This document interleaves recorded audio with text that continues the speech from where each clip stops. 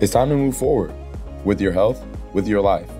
The Y offers the resources and the support to help you reestablish routines and set fitness goals.